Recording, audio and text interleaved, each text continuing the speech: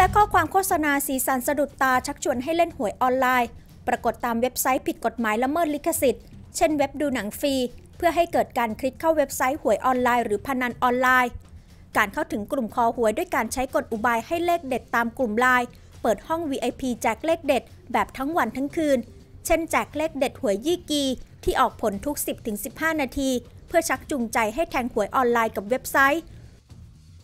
รวมไปถึงการหานักพนันหน้าใหม่ ตามช่องทางโซเชียลมีเดีย เช่น Facebook Instagram TikTok ชักจูงใจด้วยการให้เล่นหวยออนไลน์ครั้งแรก ด้วยการแจกเครดิตคูณ 2 เท่า เช่นการเติมเงิน 2,000 บาท จะสามารถแทงหวยได้ 4,000 บาทในการเล่นครั้งแรก รวมไปถึงการเสนออัตราการจ่ายที่สูงกว่า ทั้งหมดนี้คือส่วนหนึ่งของการทำการตลาดของเว็บไซต์หวยออนไลน์ หรือบางเจ้า มีทั้งหวยออนไลน์และพนันออนไลน์อยู่ในเว็บเดียวกัน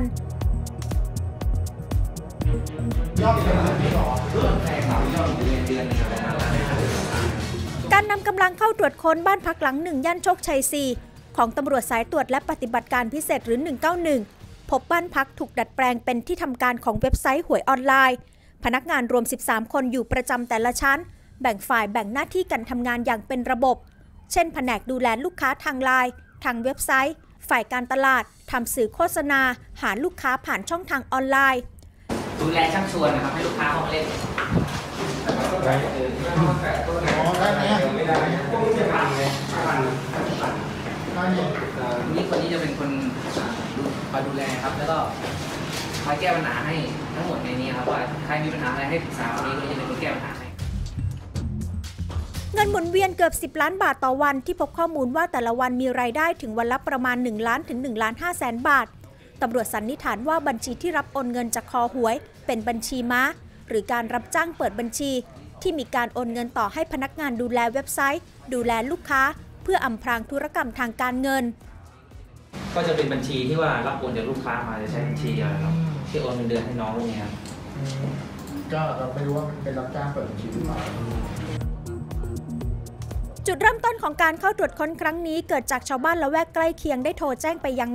191 ว่าพบบุคคลหลายสิบคนมั่วสุมในบ้านพักหลังนี้ ซึ่งน่าจะเป็นการฝ่าฝืนพรกฉุกเฉินและพรบโรคติดต่อในช่วงสถานการณ์โควิด -19 ตำรวจจึงนำกำลังเข้าตรวจค้น และพบว่าเป็นที่ทำการดูแลเว็บไซต์ดูแลลูกค้า และทำการตลาดของหวยออนไลน์ พร้อมจับกลุ่มพนักงานรวม 13 คน ซึ่งจะถูกดำเนินคดีเช่นเดียวกับเจ้าของเว็บไซต์ หรือในทุนที่อยู่เบื้องหลัง ในข้อหาร่วมกันจัดให้มีการเล่นพนัน หรือทำอุบายล่อ ช่วยประกาศ โฆษณาหรือชักชวน โดยทางตรงหรือทางอ้อม ให้ผู้อื่นเล่นพนัน หรือเข้าพนันในการเล่น ซึ่งมิได้รับอนุญาตจากพนักงาน ตามพระราชบัญญัติการพนันพศ 2478 และร่วมกันชุมนุมหรือมั่วสุมณที่ที่ใด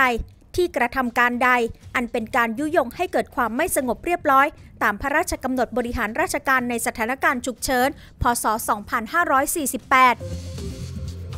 นำกำลังเข้ามาอ่า ตรวจสอบที่บริเวณซอยนาคนิวาส24 เนื่องจากได้รับการร้องเรียนจากอ่าศูนย์วิทยุ191 ว่ามีการมั่วสุมกันลักษณะคล้ายจะฝ่าฝืนพรกฉุกเฉินพศ 2548 นะครับก็เลยได้ทำการขออำนาจศาลอ่าขอหมายค้นนะฮะมาทำการตรวจค้นที่บ้านเลขที่ดังกล่าวเมื่อเข้ามาเนี่ยก็ปรากฏว่าพบวัยรุ่นมั่วสุมกันเนี่ยจำนวนประมาณ 13 คนนะครับ มี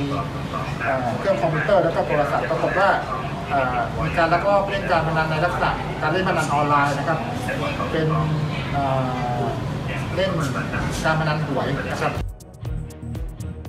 การจับกลุ่มครั้งนี้ตำรวจยังได้ยึดของกลางเป็นคอมพิวเตอร์ 14 เครื่อง เครื่องปริ้น2เครื่อง เครื่องปล่อยสัญญาณอินเทอร์เน็ต 2 เครื่อง สมุดบัญชี 6 เล่ม และเครื่องบันทึกกล้องวงจรปิดอีก 1 เครื่องกลกองของเว็บไซต์หวยออนไลน์หรือพนันออนไลน์ ที่มีผู้เสียหายจำนวนมากเข้าแจ้งความอย่างต่อเนื่องแทบทุกวัน คือการหลอกล่อให้มีการเล่นหวยออนไลน์ด้วยการใช้กลอุบายชักจูงหลายรูปแบบ เมื่อผู้เสียหายเล่นหวยออนไลน์ได้เงินจำนวนมาก ก็จะไม่สามารถถอนเงินได้ รวมไปถึงการเสนอเครดิตคูณ 2 เพื่อชักจูงใจให้มีการเติมเงิน เมื่อเว็บไซต์หวยออนไลน์ได้เงินที่มากพอ ก็จะปิดเว็บไซต์นี้ แต่ก็จะเปิดเว็บไซต์ใหม่ เปลี่ยนชื่อเว็บไซต์ใหม่ เพื่อรับแทงหวยออนไลน์